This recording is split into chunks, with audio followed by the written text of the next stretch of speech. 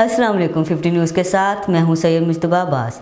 आगाजी में आपको बताते चले, मानावाला में डाकू राज कायम। दिन दिहाड़े दो मुसल्ला डाकू अल्फजल सेंट्री शॉप से हज़ारों रुपए नकदी और मोबाइल फ़ोन छीन कर फरार हो गए। पुलिस डाकू चोरों को लगाम डालने में बुरी तरह नाकाम हो गई। ताजे बरदरी और शहरियों ने वज़ीर अला पंजाब आई जी पंजाब और डी पी ओ शेखुपुरा से मुतालबा किया है। खुद दारा मानावाला में बढ़ती हुई चोरी और डकैतियों का नोटिस लिया जाए और मानावाला में चोरों और डाकुओं को लगाम डालने वाला crime fighter S H O तैनात किया जाए ताकि हम इन चोरों डाकुओं से बच सकें।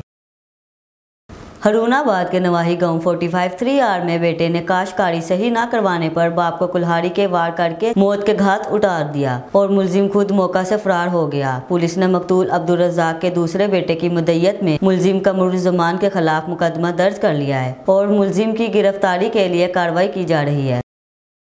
एक और खबर शामिल करते हैं हारूनाबाद से। हारूनाबाद में रेस्क्यू 1122 की टीम ने ईमानदारी की एक और मिसाल कायम कर दी। रेस्क्यू टीम 1122 को जनरल बस स्टैंड से एक मुसाफिर शख्स के बेहोश होने की इतला मिली, जिस पर रेस्क्यू टीम ने फ़ौरन मौका पर पहुंचकर मुतासरा मुसाफिर शख्स को इब्तदाई तिबी इमदाद के बाद हस्पताल मुंतकिल कर दिया। रेस्क्यू टीम की इब्तदाई मालूम के मुताबिक मुतासरा शख्स को नशावर गोलियाँ देकर बेहोश किया गया था, जिसके साथ एक छोटा बच्चा भी मौजूद था। रेस्क्यू टीम ने मुतासरा शख्स से बेहोशी की हालत में मिलने वाली नौ लाख अठानवे हज़ार रुपए की खतीर रकम मुसाफिर के हवाले कर दी।